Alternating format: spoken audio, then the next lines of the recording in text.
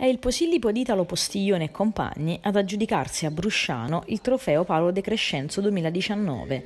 I rossoverdi, allenati da Elios Marsili e Davide Truppa, bissano così il successo sconfiggendo in finale il Villani 10-7. Il trofeo, che quest'anno si riconferma dopo la prima edizione dello scorso anno, è dedicato alla memoria di Paolo De Crescenzo, allenatore anche del Posillipo e della nazionale italiana, capace di vincere nove scudetti, due Coppe delle Coppe, due Coppa Italia e soprattutto due Coppe dei Campioni, oltre che la Supercoppa europea. Il ricordo di Paolo De Crescenzo, una grande persona, splendido allenatore che ha lasciato il segno nel nostro mondo quindi la federazione non può che essere a sostegno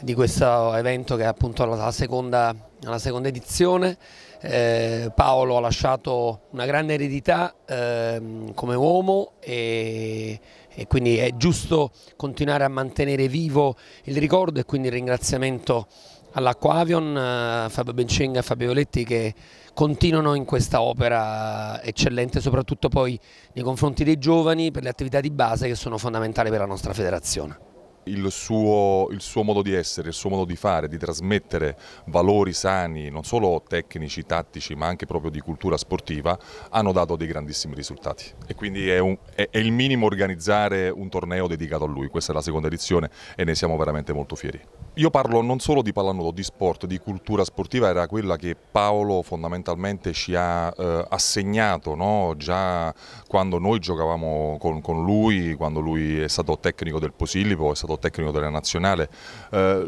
lui parlava proprio dello sport, del, del, di quello che deve trasmettere lo sport eh, a noi che eravamo piccolini, io ho iniziato con lui quando avevo fondamentalmente 18-19 anni eh, e quei valori noi cerchiamo di trasmetterli e eh, portarli a casa dei, dei, bambini, dei piccoli atleti insomma, che adesso si stanno affacciando a una disciplina che è bellissima, quella della pallanuoto, ma che è ricca anche di tanti sacrifici. Quindi quello eh, che ci ha insegnato Paolo è eh, la perseveranza, la dedizione, eh, l'umiltà, perché solo con questi valori eh, si possono raggiungere grandissimi risultati.